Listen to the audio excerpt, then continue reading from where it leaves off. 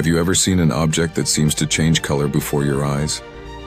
Over 1,600 years ago, Roman craftsmen created a goblet that continues to defy explanation even today. The Lycurgus cup, dating from the 4th century CE, appears jade green under normal light, but when illuminated from within, it glows a brilliant ruby red. For centuries, the cause of this magical transformation remained a mystery. The secret?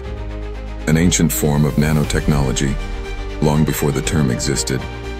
The glass contains tiny particles of gold and silver, so minuscule they interact with light in a way modern scientists only unraveled in the 20th century.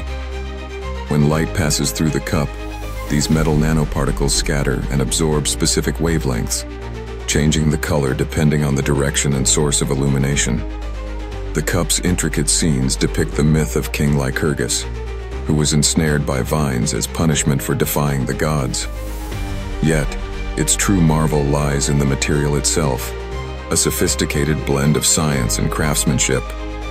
Today, the Lycurgus cup stands as a remarkable testament to the ingenuity and mystery of ancient Roman technology, an optical wonder that continues to baffle and inspire researchers and enthusiasts alike.